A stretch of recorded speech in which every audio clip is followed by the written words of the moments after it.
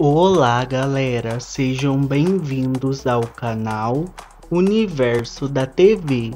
Antes de começar o vídeo, curta, comente, compartilhe. E se ainda não for inscrito no canal, se inscreva e ative o sininho das notificações para não perder nenhum vídeo. Hoje iremos descobrir algumas curiosidades sobre a novela Sete Pecados. Fique com a gente, é logo depois da vinheta.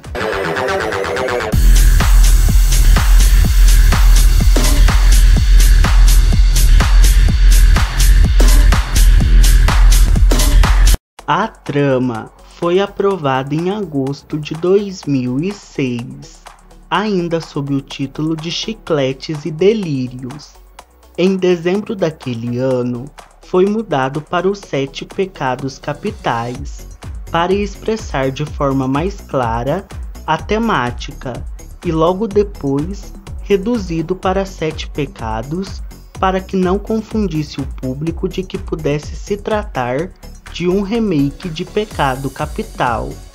A novela marcou a estreia do autor Valcir Carrasco no horário das sete, uma vez que antes o autor havia consolidado diversos trabalhos na faixa das seis. Originalmente, Mariana Ximenes foi escalada para viver Beatriz, repetindo a parceria com o autor de Fascinação, A Padroeira e Chocolate com Pimenta.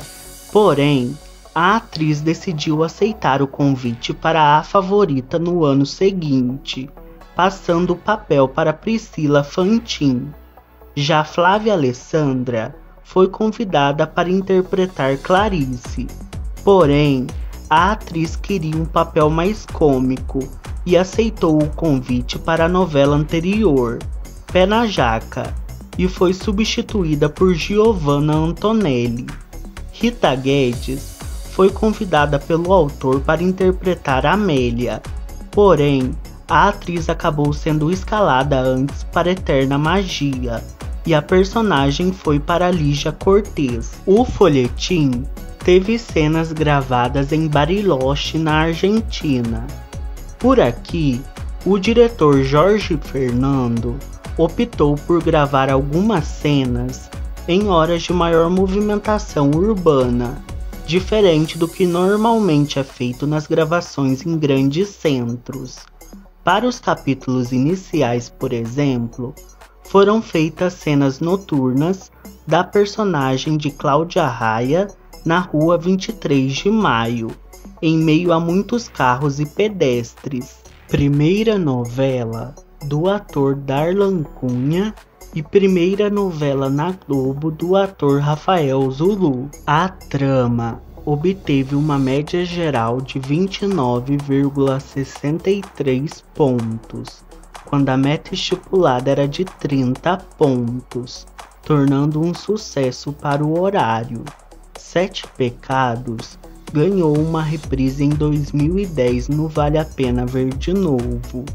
Hoje, ela é uma das mais pedidas para retornar no canal Viva. E aí, Gostaram de descobrir essas curiosidades de Sete Pecados? Qual era seu personagem favorito? Comente aqui embaixo. Se ainda não deixou seu like, deixe agora. Aproveite e compartilhe também com os amantes da televisão. Nos vemos nos próximos vídeos. Até mais!